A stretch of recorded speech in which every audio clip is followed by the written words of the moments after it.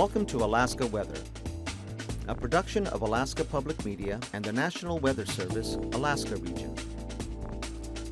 Produced and broadcast daily from the studios of KAKM, Alaska Weather provides complete forecasts, public, marine, and aviation for all of Alaska. Alaska Weather is made possible by the following sponsors. Indie Alaska is a groundbreaking series that dives into the lives of people living in the last frontier.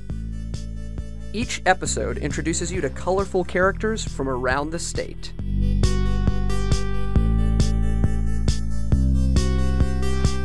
Funding for Indie Alaska is provided in part by Alyeska Pipeline Service Company. Catch the latest episodes at alaskapublic.org. It's never too early to set expectations and goals for your child's education. The UA College Savings Plan provides opportunities that can help you reach your educational savings goals. Save in Alaska. Study anywhere. There is more information available by calling 1 888, the number 4, and then Alaska. This message sponsored by the UA College Savings Plan.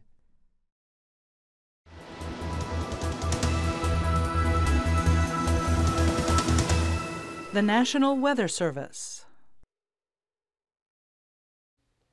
Good Wednesday, everyone. I'm meteorologist Dave Snider with the National Weather Service. It's the 7th of October, and as always, we encourage you to stay up to date with your local weather information by going to weather.gov/alaska or calling the Weather Info line at 800-472-0391. You can find us on Facebook at NWS Alaska, and we'll have more information about some of the topics we'll talk about here tonight, including the increasing chance that there's going to be a lot of wind across southern parts of southeast as remnants of Hurricane Oho continue moving north and east away from Hawaii. You can always follow along on twitter.com by using the hashtag AKWX, and we'd love for you to follow our accounts as well at NWS Juneau, NWS Anchorage, or NWS Fairbanks. Even NWS Alaska will get you some of the same information. But one way you can share information with us, whether it's a storm report or just a pretty Alaska picture of the weather that you see over your house, you can use the hashtag AKWX, and that's very helpful to us as well. You can get daily afternoon map briefings on YouTube at NWS Alaska and NWS Anchorage. And again, look for the hashtag AKWX to help you out. Here's what's going on in your world. In southeast tonight, we have a high wind watch for some of the outer coasts around Hydaburg, southward, and into the Dixon entrance, including areas around Ketchikan. The high wind watch will start on Friday morning and go through Friday evening. We're expecting winds there to be strong enough to uh, cause some minor damage there. Expecting winds at least from 40 to 50 miles per hour and some gusts upwards of 60. Again, that'll start around Friday morning and go into Friday evening. And the reason why is from what is now a hurricane. Oho is moving away from the Hawaiian Islands, which are seen here. The present position as of earlier this morning at around uh, 1 o'clock Alaska time was about 1,800 miles south and west of Hydaburg. So quite a ways away. And you're saying, well, that's a large distance to cover between now and Friday. Yes, it is, but the jet stream is really going to help this move very quickly. 150 to 170 knot jet stream is going to catch parts of this and then zip it north and east very quickly starting on Thursday. So that distance will be closed fairly quickly tomorrow. Maximum winds earlier this afternoon were around 105 miles per hour. It was presently moving in northeast around 38 miles per hour, and the minimum central pressure is about 966 millibars, which had gone up since the previous update. And right about now, the tropical weather uh, folks out in the Pacific are updating this information. So if you update your web page now or get the latest update, however you like to get that, uh, it may be just a little bit different. This is as of a little bit earlier this afternoon. So here are the wind projections now. And again, this is from earlier information midday. You can see the deep red and the dark purples there showing that northeasterly trajectory. This is the hurricane force wind swath. We're not going to have to worry about that. But we may have to worry about tropical storm force wind gusts approaching the Dixon entrance, Haida Gwaii, and southern parts of southeast. That's the concerning part. And once again, by the time that storm system gets here, it will not be a hurricane but it will have a lot of wind with it. And if you're thinking, this is a really kind of a strange weather pattern, this is not the type of weather pattern that we typically see in Southeast, you would be right. This is pretty unusual. In fact, we had to go way back to 1975 when Hurricane Agatha made a curve similar to this. Again, this is uh, very uh, unusual to see this type of track, but here's Hawaii. Here's Alaska and southeast, and Hurricane Agatha made a similar track there back in 1975, so it's been quite a while. Now let's look on the other side of the ocean, in the western Pacific. This is a Choi Wan uh, typhoon that's working north and east away from Japan. And you can see this is already starting to fan out and lose its tropical characteristics. But there is another tropical-like system on the other side of the map here. As this moisture works northward, it is bringing some wet weather to the western Bering Sea and will continue to keep things fairly warm across the central and western Bering. In the meantime, a fairly potent weather system is already in the Bering, and this area of low pressure is keeping southerly winds going across south and western Alaska, decent westerlies moving across the central and eastern chain, and it's blowing a lot of wet weather into south and western Alaska at this point. So let's look at the Gulf of Alaska. We already have one weather maker working northward. This is not OHO. This is just a precursor to what's going on. Wet weather is moving into southern parts of southeast. It's moving into the Gulf Coast and southwestern Alaska and Kodiak. And this is going to make a lot of wind across the northern and western Gulf Coast as we go into tonight and into tomorrow. Storm force winds are expected across the Barren Islands and uh, across Shelikof Strait. If you have plans on the ferry, uh, the Tustumena, uh, hopefully very trusty again tomorrow for your trip there. If uh, conditions are still travelable there, they um, will be a little bit of rough and tumble there. So just uh, tighten things down and hold on for a bumpy ride. Out across the central and western parts of the interior, clouds will continue to increase, but it doesn't look like there's a, rarely, a very good opportunity for a whole lot of wet weather north of the Alaska Range. Things will be cool. They may be breezy at times, but high pressure should win the day there. As you look at the weather map today, the low pressure system we already see in the Gulf is at 980 millibars, and out ahead of that is that warm and wet air that's working its way northward. The pressure gradient's tightening across the northern and western Gulf, and there's our low out across the Bering. It's trying to stay organized as best it can. It's got a lot of dry air wrapping into it. It's about 985 millibars and high pressure sitting just east of the Alcan border in the Northwest Territories with another stronger part of that ridge well north and west of Barrow.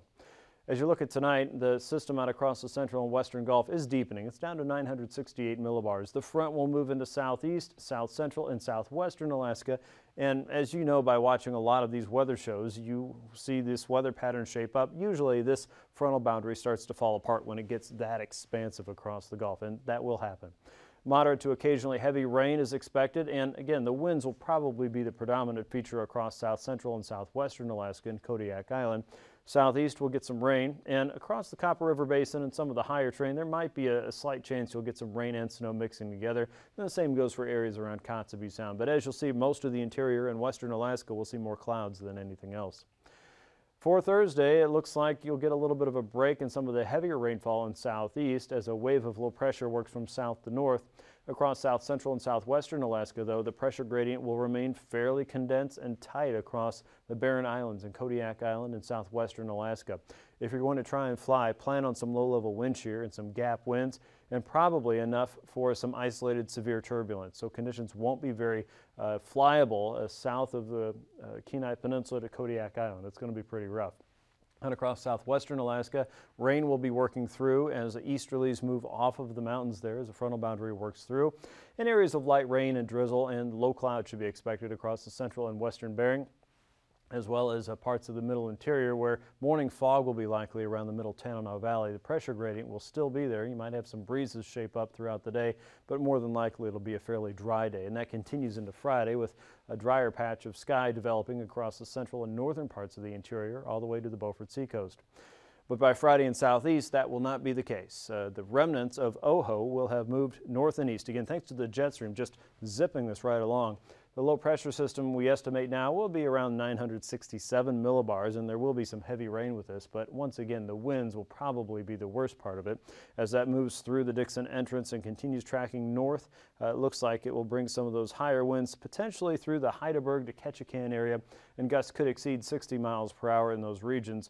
And mariners uh, take heed. Uh, you could see some uh, stronger winds there, not to mention uh, so thunderstorms in the region, as well as a convective weather throughout the day as this system continues to work through. So strong winds, periods of heavy rain, and probably some high seas in the region as this uh, works northward. On the back side of this, a 969 millibar low that keeps rain going around Kodiak, wind gusts going through the central and eastern chain in the Alaska Peninsula, and still most of the central and northern parts of the interior remain dry going into Friday. Now, what has happened. Temperatures in southeast were in the 50s and 60s today. Sitka around 60 degrees, uh, Skagway and Haines in the 40s and 50s. Southern parts of southeast, even with rainfall, in the mid 50s there. 40s and 50s for Prince William Sound, 50 in Seward and Homer today. Kenai made it to 43, 42 in Anchorage, and 46 around Talkeetna. It was 45 in Fairbanks and Eagle, with 30 in Fort Yukon, 41 up around Bettles, 19 going over the road in Anaktuvuk Pass, mid 20s for the Beaufort Seacoast, and 25 in Barrow. Wainwright saw temperatures in the lower 20s this afternoon, but just down the coast, Point Hope and Point Lay were in the 30s, with Kotzebue Sound in the 30s and 40s today. Kivalina saw 41. Nome was 43. Norton Sound temperatures made it into the mid 40s today, 43 in Galena and 42 up the river in McGrath. 47 was the temp around Bethel with Nunivak Island showing 46, 43 in St. Lawrence Island.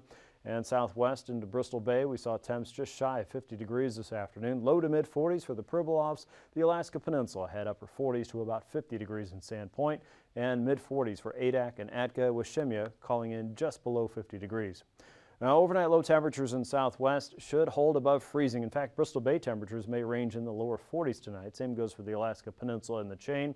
40 in St. Paul, just shy of 50 in Kodiak. South Central, upper 30s and lower 40s with wet weather there. Mid to upper 40s for southeast, the outer coast in the lower to mid 50s. North of the Brooks Range, you'll be in the teens tonight. Most of the Arctic coast will drop into the mid 20s once again. Nome looking at 34 with a high of 43 tomorrow.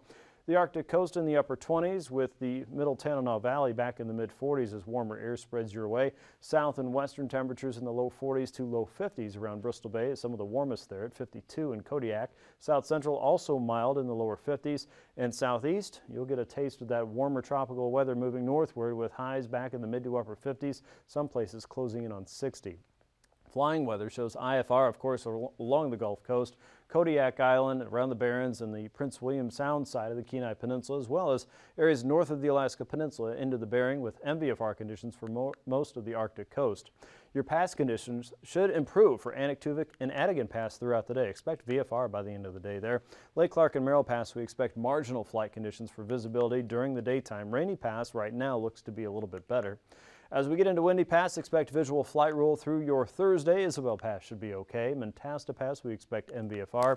And Tahneta Pass, expect marginal flight conditions to develop there with Portage Pass leaning over toward IFR during your Thursday. And Chilkoot and White Pass at this point, we're going to call IFR for most of your Thursday. The freezing levels show a big difference across the eastern Gulf, and southeast, and the north and the west. Look at this. We have a pretty tight gradient here from 2,000 all the way up to 6,000 foot around the Yukon Valley in the central interior, as well as southeast up to 8 to 10,000 feet. Uh, north of that, it's all cold, of course, with the surface freezing line dropping into the Copper River Basin and parts of the Matanuska Valley. As far as icing potential goes, we'll probably see a better chance of icing in the coming days for parts of south central and uh, maybe even the eastern interior. As it looks tomorrow, watch for light to isolated moderate across northern parts of southeast. There is a bulk of warm air moving northward with this system, of course. And across the west, look for a light to isolated moderate across the Yukon Delta all the way through the Kuskokwim Delta and into the lower parts of the Alaska Peninsula as well as south central's coast with uh, some pockets of occasional moderate there with areas of lift and enhanced moisture working around that area of low pressure. Here's a jet stream, and once again, this is the reason, the number one reason why OHO is going to move so quickly from down around Hawaii to all the way up to southeast in about uh, 36 to 48 hours. Wind speeds rounding the western side of this trough are ranging from 125 to 170 knots. That is some super fast jet stream air. And as that zips around, that will grab that disturbance, that is OHO, and just zip it right up into southeastern Alaska, just like that. I can do that again. Just like that. Yeah, it's going to be fast. So out across most of Alaska, high pressures in command, but under the control of that trough, out across the Gulf of Alaska, that's what's driving our weather maker going into southeast. At 9,000 feet, we have that broad southerly flow going across the eastern Gulf. So no surprise, 30 to 40 knot winds there coming in, bringing more rain to southeast right now. But it's more of a continental flow for most of the interior with wind speeds between 20 and uh, 10 and 20 knots for the interior, like Tan the Tanana Valley, and out along the west coast, 20 to 30 knots there. It's a northerly wind for the central and western chain, and low pressure sitting just south of Kodiak, driving in some stronger winds there at 40 knots. But those winds really pick up as you get to 3,000 feet. 40 to 55 knots there, so watch out for some isolated severe turbulence in this region from Cook Inlet all the way through Shelikof Strait in the Alaska Peninsula. For southeast, wind speeds there picking up to about 60 knots south and west of Sitka. Easterly winds continue for the interior, so dry conditions prevail there. Northeasterlies down the Chukchi seacoast and northerlies for the central and western chain maintained at 20 to 30 knots. Turbulence, and no surprise like we were talking about, we're going to see some light to isolated moderate for most areas from, say, Matanuska Valley all the way down toward Dutch Harbor. Don't be surprised to run into widespread moderate, and I would be even uh, less surprised to get reports tomorrow of isolated severe in that region. There will be some low-level wind shear and some pretty strong winds throughout the day, so again, be on your guard and be prepared. For southeast, watch for developing areas of occasional moderate in the inner channels and along the coast with worse conditions expected, of course, as we head into Friday as Oho approaches. And light to isolated moderate along the north slopes of the Brooks Range and some pockets of uh, light to isolated moderate across the middle Tanana, middle Yukon Valley, I should say, St. Lawrence Island and Nunivak Island throughout the daytime below 4,000 feet. That's a look at your aviation forecast. I'll be back in just a few minutes with an update on the sea ice edge, your marine charts, and once again a look at the surface weather. Stay tuned.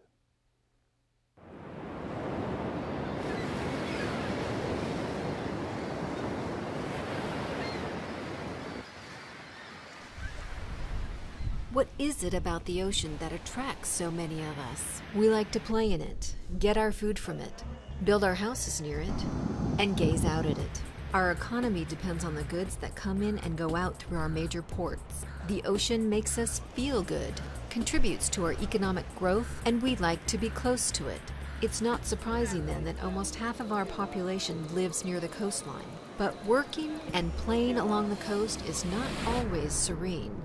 Powerful coastal storms can raise the water level significantly, 20 feet or even more, causing loss of life, destroying homes, businesses, and property. Hurricanes like Katrina and Ike showed us firsthand the risks that coastal communities face. It was 32 feet. We went through the first floor to the second floor, through the attic. The water came up to us like here on the roof. And we talking about swimming to the tree. And luckily, it subsided. With ocean waters warming and sea levels rising, it is likely that the U.S. will encounter future storms equally as harmful and costly. And with so many people living along the coast, the stakes are getting higher each year. Storm destruction is rarely limited to lost lives and property. Instruments collecting water level and meteorological information must be located in harm's way so they can deliver data critical for flooding forecasts and emergency evacuations. But all too often, these stations are damaged or destroyed during the very times we need them. The National Oceanic and Atmospheric Administration, or NOAA, has responded to this dilemma by strengthening some of its storm tide stations. Known as NOAA Sentinels of the Coast, these platforms are single pile, 4 feet in diameter structures that stand at least 20 feet above the sea surface and are driven 60 to 100 feet into the seafloor for stability. For over 200 years, NOAA has monitored the rise and fall of tides using the latest technology. Beginning with human observers in the early 19th century, NOAA has harnessed technology to operate its network of tide stations that automatically collect accurate and reliable data every six minutes. Today, NOAA maintains more than 200 permanent water level observing stations. NOAA's goal is to ensure that the public has advance notice based on the most accurate and up to date storm tide and meteorological information. This is only possible, however, when the tide stations operate throughout the storm. So, Sentinels are designed to withstand a Category 4 hurricane with winds up to 155 miles per hour and storm surges of nearly 20 feet above normal. Planning, design, construction, and operation required a team of experts in surveying, engineering, pile installation, oceanography, quality control, and web expertise. With new technology, NOAA is better meeting the needs of coastal communities. Lives are often at stake during the 24 hours before a major storm. Once floodwaters begin to rise, it becomes critical to know which evacuation routes are passable. Having this kind of immediate real-time data up close, that our community has access to is critical for us in our day-to-day operations. Each sentinel will report real-time water level and meteorological observations. Water level measurements are precisely referenced to ensure that coastal communities can make informed decisions to elevate housing, build levees, and plan evacuation routes. In addition to storm tide reporting, the products that result from NOAA's instruments also contribute to safe navigation, accurate charting, marine engineering, sea level change monitoring, and other important activities. Before we send crews out, we always check the tides because being in South Louisiana, you have to make sure you, your barges and boats can get in before you can even begin your begin your work. So the tide information is very important. The first Sentinels were constructed along the Gulf Coast at Calcasieu Pass, Amerada Pass, and Shell Beach in Louisiana, and Bay Waveland in Mississippi. Hurricanes Gustav and Ike tested the Sentinels within weeks of installation. Standing strong, they delivered storm tide data, which were used by emergency responders as well as thousands of coastal residents. More Sentinels are planned and will be built at exposed coastal locations as funding becomes available. Other stations in less exposed areas will be elevated above storm surge range on substantial structures. Coastal communities must be ever vigilant. Even tropical storms can deal a massive blow to many residents, especially storms that make landfall on a high tide. Sentinels are designed to serve the over 150 million residents of coastal communities, planning for the worst and hoping that we never need those plans. However, if the unthinkable happens, NOAA Sentinels will be there standing tall providing a safe haven for instruments that are vital to planning for and responding to nature's fury.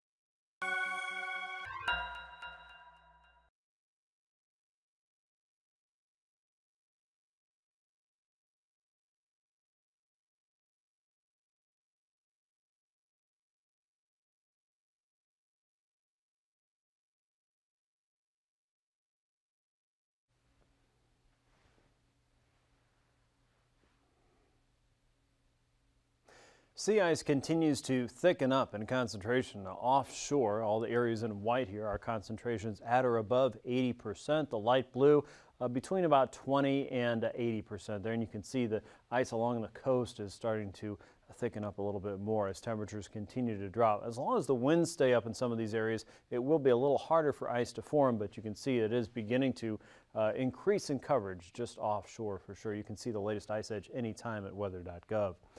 Thursday's marine forecast in southeast won't be as bad as what we expect on Friday, so watch this carefully if you're in southeast, especially southern southeast. Look for southeasterly winds from 35 to 40 knots with seas on the inside to 8 feet, 12 foot seas west of Craig and up towards Sitka. Those uh, seas drop off to about 9 to 11 feet.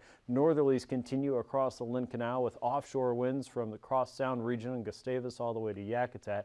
Friday's the big day. There will be higher gusts, a high wind watch for the land areas and the marine areas should expect some warnings as well with winds well above gales and into storm force conditions there, uh, potentially higher with higher gusts at least to 85 knots in some of these areas on top of thunderstorm activity possible, especially for the outer coast. Look for winds from 50 to 60 knots there on the inside of Clarence Strait and then south of Sitka along the outer coast with seas from 26 to 32 feet Northerlies opposing that through the Lynn Canal and Stevens Passage at 35 knots. North and easterly winds out of Cross Sound and Gustavus at 35 knots and northwesterlies coming down from Icy Cape. Friday's not going to be a nice day on the water or on land, especially in southern parts of southeast. I'll also add in some heavy rain and again the threat for thunderstorms there. So pay attention to the weather in southern southeast with the remnants of Hurricane Oho moving north and east for Thursday in South Central. This is our windy day in the Barren Islands region as well as the Shelikof Strait area and down Cook Inlet winds from the north and east 40 to 50 knots, seas from 13 to 19 feet and then across the western Gulf 35 to 45 knots with an easterly wind bringing seas up from 14 to 18 feet. Inside of Prince William Sound 20 knot winds with a 4 foot sea. Friday things drop off with uh, winds from the north and east down Cook Inlet from 10 knots to 35 knots inside of Shelikof Strait. Seas there still at 13 feet.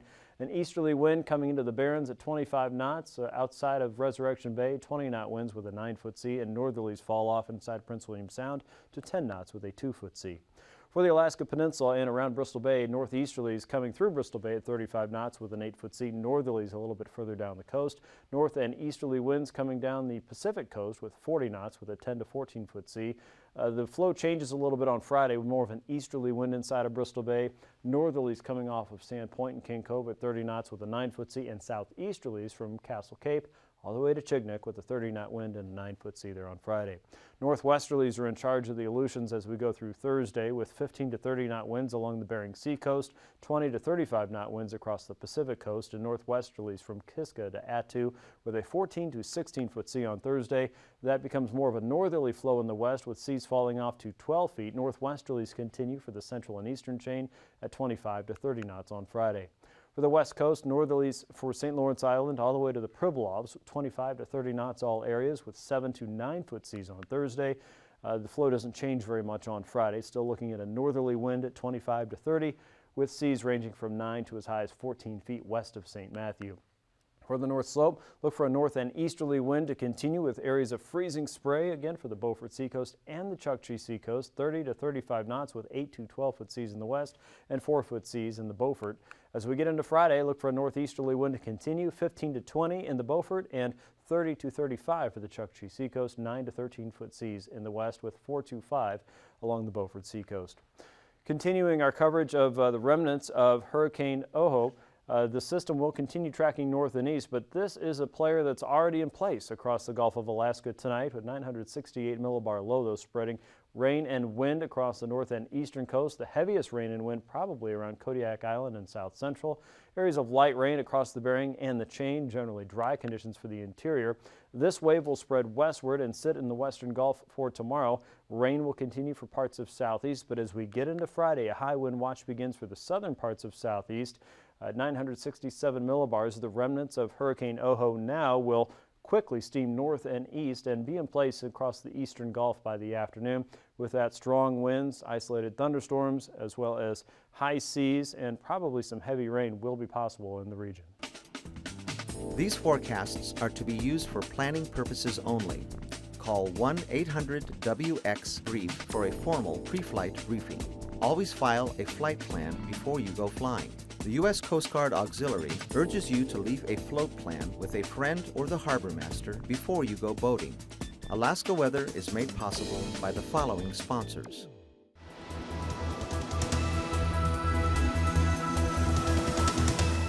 The National Weather Service.